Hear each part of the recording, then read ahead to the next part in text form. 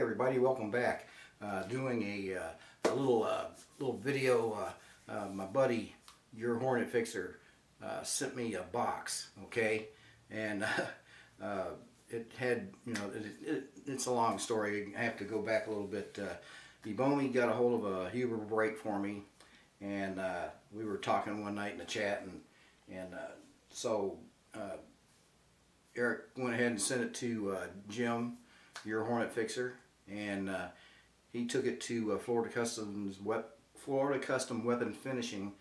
All right, and uh, Dave and Sandy are awesome people. They're good folk, and uh, believe me, they will do an excellent job if you want something like like this painted, you know, right here.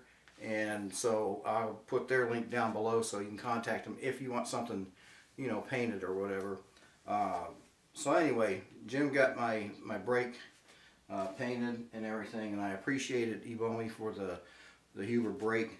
And uh, make sure you check out uh, John Huber also. Uh, he makes some really good stuff, triggers, you know, the the brakes and everything. But here it is right here. I won't waste a whole lot of your time. I just want to show this real quick.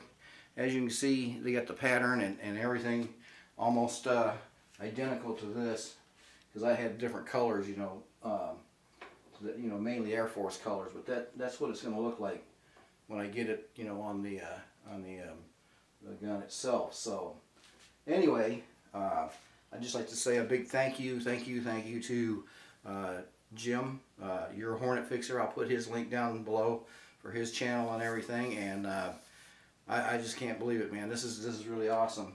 And then on top of that, after he did that for me, he sent me a, a Schrade folding knife here.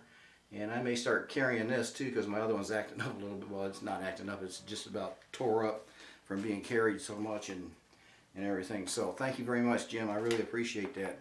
That's definitely going to be worn tomorrow for sure.